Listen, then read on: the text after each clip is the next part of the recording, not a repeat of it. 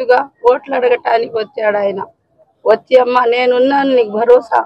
నీకు నేను న్యాయం చేస్తాను నీ బిడ్డకు ఒక్క మాట కూడా అడగలేదయ్యా. ఓట్లు అడగటానికి అంటే వచ్చారుగా. వచ్చినప్పుడు ఆయనకి ఏం చేస్తాం మేము?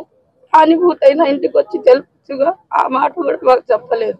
నీకు న్యాయం చేస్తానమ్మా నీ బిడ్డ కానీ చెప్పొచ్చుగా ఇంకా సాక్ష్యాలు ఉండయిగా ప్రూఫ్లు ఉండయి కేకులు తీర్పిస్తున్నట్టు ఇంకా నా మీద మా కుటుంబం మీద పరువు నష్టం దావా వేస్తాడంట ఆయన ఆ ఎమ్మెల్యేగా ఉన్న ఆయన. ఏమను ఇంకేం చేస్తాడు? లేకపోతే మమ్మల్ని కూడా మా తల్లిదండ్రులుగా మమ్మల్ని కూడా నరికించమని.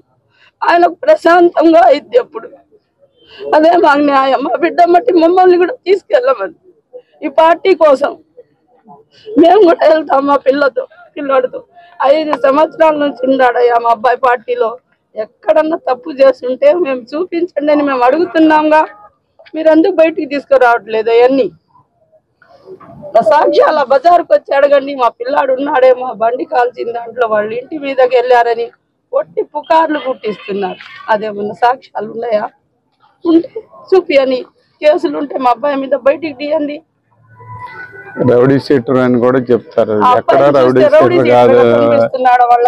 అది ఉంటే బయట పెట్టమనండి. అతను రౌడీ షీటర్ అనే కేసులు ఉంటే? చెప్పమనండి.